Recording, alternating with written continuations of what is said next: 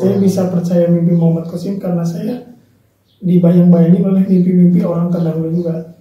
Seperti apa? Ya, jadi saya bisa percaya mimpi Muhammad Qasim kalau nggak ada kisah-kisah sebelumnya, saya tidak akan pernah tiba-tiba percaya mimpi Muhammad Qasim. Hmm. Gitu ya pertama.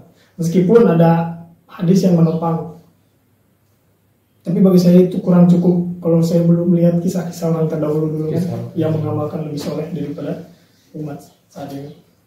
Ya saya melihat yang umat sekalian tahu juga bahwasanya azan yang kita dengar pun bukan dari Rasulullah Shallallahu Alaihi Wasallam. Itu dari sahabat Bilal yang melaporkan kepada Rasulullah. Terus Syekh Nuruddin kah yang mayatnya Rasulullah meminta tolong lewat mimpinya. Bahkan Abdul Muthalib yang sekarang eh, kita para Nusantara ini dapat oleh-oleh dari jemaah umroh, haji ya. Kita bisa minum air zam-zam. Hmm. Itu asbabnya dari mimpi Abdul Muthalib Hmm. Kakeknya Rasulullah SAW. Eh, ya itu bermimpi tidur di dulu kan tidur di bisa tidur di Ka'bah tuh. Abdul Muthalib bermimpi.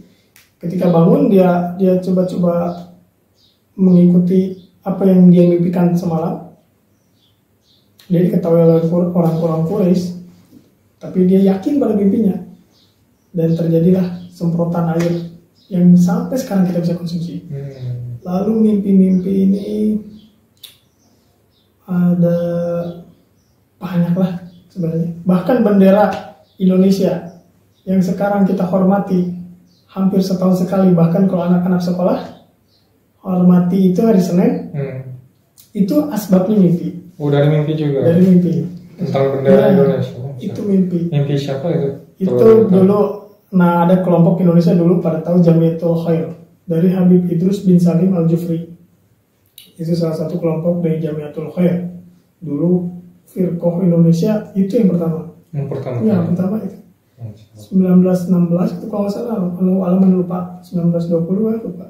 Pokoknya Robi Talawiyaku itu 1928. Lebih muda Jamiatul Khair. Nah, Habib Idrus bin Salim Al Jufri itu bermimpi bahwasanya Rasulullah eh, yang ngasih tahu sendiri bahwasanya bendera Indonesia adalah merah putih. Kiai Haji Adnan Anwar juga mengatakan bahwa NKRI sudah sangat islami karena banyak ulama terlibat dalam pembuatan konsepnya.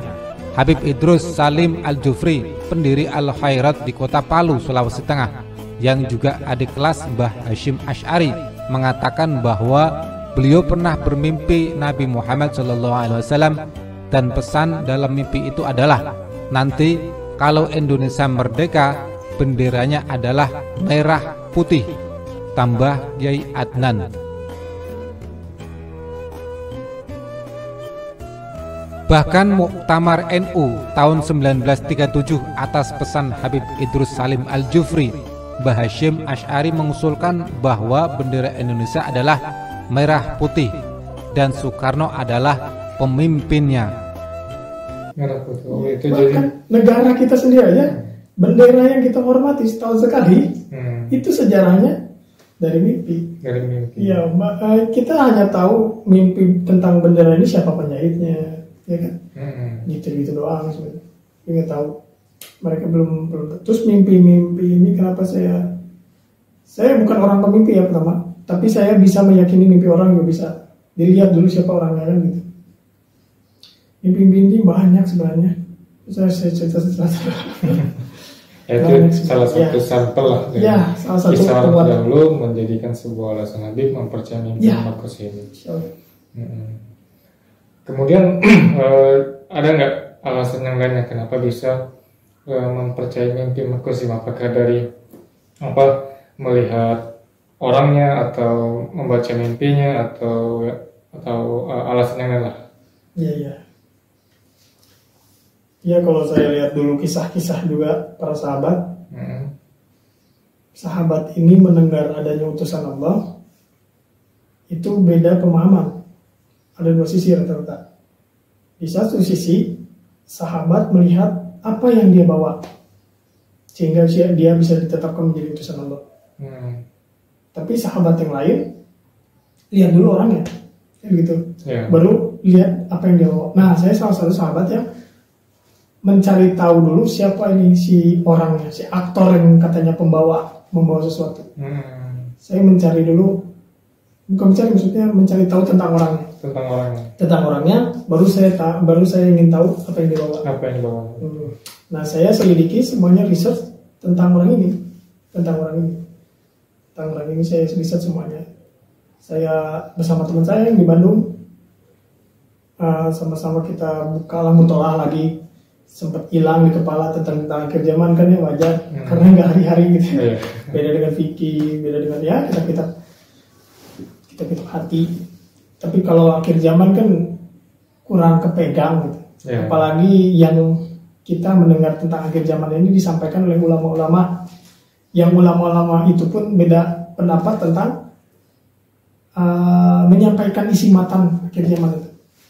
Nah saya di situ berpikir kenapa nggak saya aja yang coba si Al Fakir ini si Al Fakir ini mencoba uh, buka matan dan menyamakan ini siapa ini orang dari berbagai referensi saya coba buka. Hmm. Saya mencoba buka untuk buka diri. Idealisnya saya, saya adalah Sunni.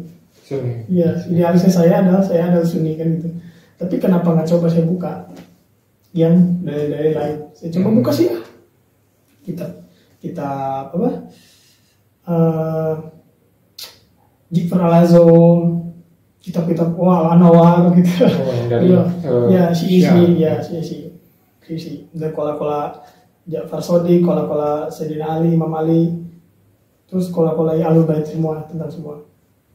Saya coba neliti semuanya. Yang itu pun dari Zaidiyah, ada yang Zaidiyah, ada yang Ja'fari.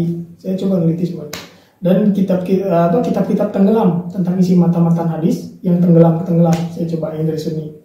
Kita Yang manuskrip, manuskrip yang ya pasti dianggap remeh sama orang-orang gitu. Oh, berupa manuskrip. Oh. saya ingin ingin coba. Ngerti nggak sih ya. Siap meringkas. ya coba. Mencoba ini. Wah, meskipun saya bodoh al fakir ini tapi apa sih susahnya kalau seperti inilah ulama dia fakih dalam bab wudhu kalau dia mempelajari dulu baru dia bisa disebut fakih dalam bab wudhu dia tahu mana salah mana benar kalau dia mempelajari nah saya mencoba mener- men- me- membuat itu di dalam diri saya. Mencoba. Saya gimana tahu ini sesat? Saya gimana tahu ini benar? Kalau saya coba untuk mempelajari sebisa saya mungkin. Gitu. Hmm. dan topangannya tetap saya buat amalan. Saya buat amalan. Saya buat amalan Satoria Haksabandia saya buat amalan itu juga.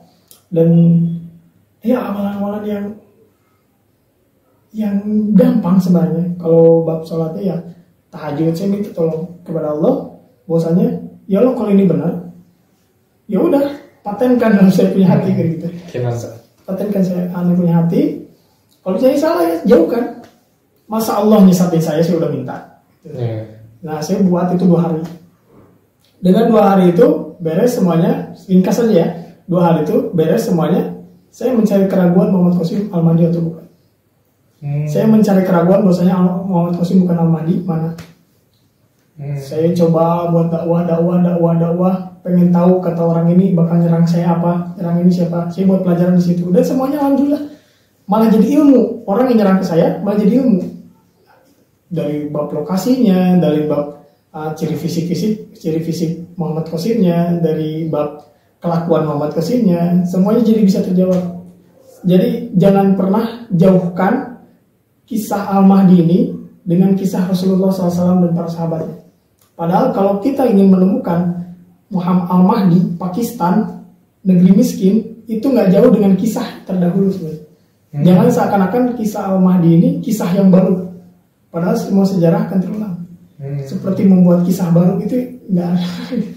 Sebenarnya kita ini simple. Toh Al-Mahdi juga ahli bait Nabi. Iya. Ya Al-Mahdi minna yuslihu lo fil Minna ahli baiti diperkuat lagi. Minna ahli baiti. Al-Mahdi adalah golongan kami. Ahlul bait di riwayat lain Al-Mahdi minni min walidai Fatimah diperkuat lagi. Al-Mahdi adalah diriku dari keturunan Fatimah. Diperkuat lagi kan di situ. Yuslihu lo fil laila. Dari situ udah sebenarnya udah diperkuat lah pasti alul, bait dan alul bait di sini karena saya sunni saya mem- memperyakinkan bahwasanya ini adalah al hasani nasab al hasani nah bedanya nasab al hasani dengan Al Husaini yang saya tahu Al Fakir ini berbeda dengan Al Husaini yang banyaknya masyhur. Mereka eh, terkenal gitu. Nasabnya itu bukan nasab-nasab yang nggak asing didengar. Beda pasti dengar dengar asbab aja dikit gitu kan. Udah tahu yang baik. Al Atos sedikit tahu ini baik. Bin Yahya sedikit tahu ini baik. Syihab, Syahab, Syahabudin, Syahabudin ini baik. Beda dengan kalau Al Hasani kan mungkin Indra juga tahu lah. Ada marga-marga yang Indra nggak tahu ini orang Arab biasa atau habaib kan. Iya. nah alasan itu itu. terus banyak juga alasan ini mereka lebih memasturkan diri rata-rata. Jadi nasab-nasabnya hanya konsumsi buat keluarganya aja. Warisan warisan warisan. Tidak seperti yang manusia ini. Gitu ini bagi saya yang tahu. Jadi siapa pun al-mahdinya kalau kata saya dia pasti alasani dan kalau dia alasani ya agak sulit untuk dilacak gitu. Hmm. Tapi kalau kita cuma ngandelin Al-Mahdi harus nasab lagi, harus nasab, nasab lagi, cek nasab, wah, susah, habis waktu. Sementara banyak yang harus kita riset tentang Al-Mahdi bukan hanya nasabnya. gitu. Iya benar. Nah,